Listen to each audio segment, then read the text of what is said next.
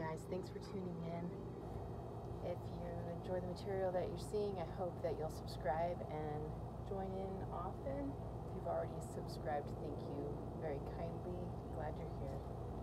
Today I'm going to plant onion seeds. I'm going to start them under grow lights inside the house and plant them out a little later when it isn't quite so hot anymore. Right now we're experiencing about 105 degrees compared to a couple weeks ago when it was uh, 117. So I think it's too hot to put this seed directly in the ground. For that reason, I'll start it going in the house. If you've never seen a seed tray before, it comes with multiple pockets with holes in the middle at the bottom, and then a tray to catch water. But interestingly, the tray can also be filled with water and these cells with soil can then wick up water into the dry soil and water your seedlings that way. So I'm just going to fill this up with some potting soil. In, in the past I've used seed starting mix, uh, but that's gone up quite a bit in price tried potting mix a few times now and my seeds germinate in potting mix just fine inside the house. So I've switched to that. It's, the difference is it's a little more chunky. It's still nice and soft, but it's a little more chunky than that fine seed starting mix they sell. So we're gonna fill every cell this is what I'll remove when I say I have no problem using potting mix. If you get a chunk that's really big, a seed can't grow in that, and I just chuck it in the garden, move on.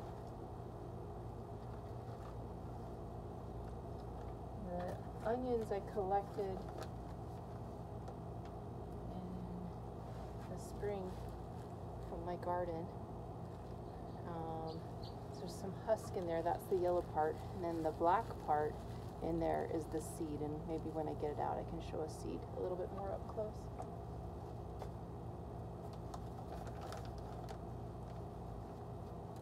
These trays also come with a clear lid and what I'll do after I've uh, filled it and watered it and put the seeds in, I'll put the clear lid on top just until the onions germinate or sprout and then I'll take the lid off. The point is to keep it humid, keep the seed humid until it germinates. After that, it can really drink up water from the soil and from the tray, if you, uh, whether you top water or bottom water. But for that initial putting the seed down and it hasn't sprouted yet, you keep the atmosphere humid with that plastic lid the clear plastic lid. My soil is warm. It was sitting in the sun at the garden center. And the whole bag is just heated up, which isn't bad. A lot of seedlings, seeds like to germinate in warm conditions. So that, that ought to be fine.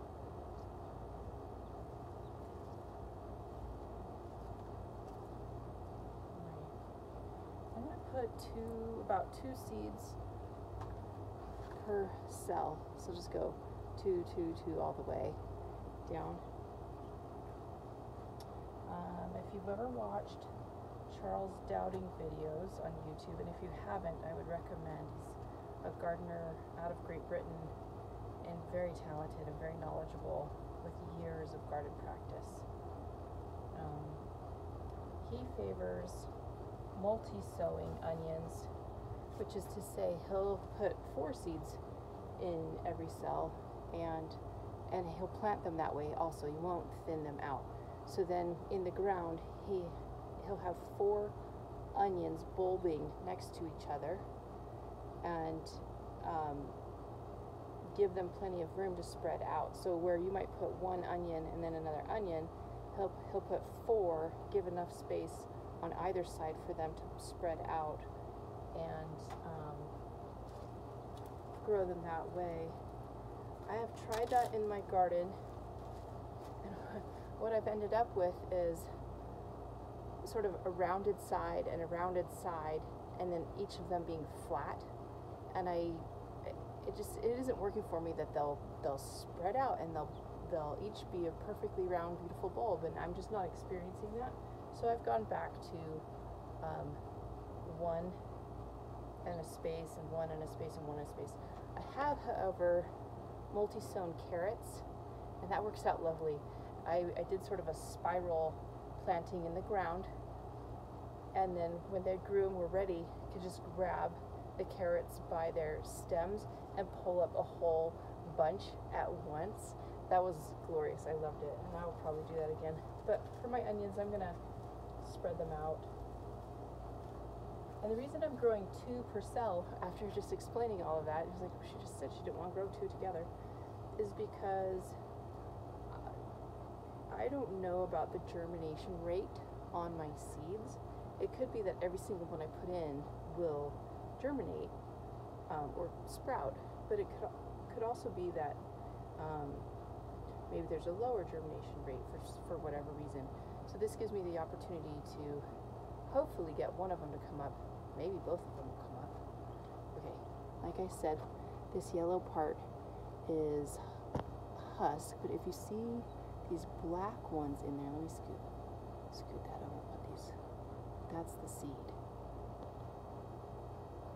Anyway, onion seeds, and this smells really good. If you ever have the opportunity to collect seed from your own yard or out in nature, be sure to smell your hands. Be sure to smell this product. It's it's delightful, and that can occur with lots of different seeds, not just onions. So I'm gonna go two or more because it's hard to separate from the husk anyways. So there might end up being more seed per cell than I'm expecting, which is fine. I definitely don't want less. I don't want to not get a seed in there. So I'm looking for the seeds in my hands, getting them in the cells.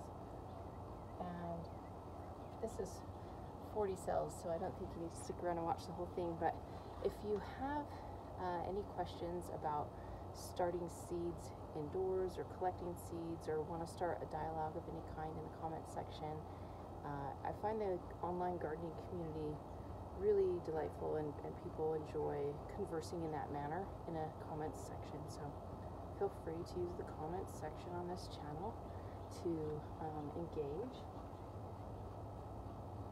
And I'll catch you in the next one. Thanks. Happy gardening.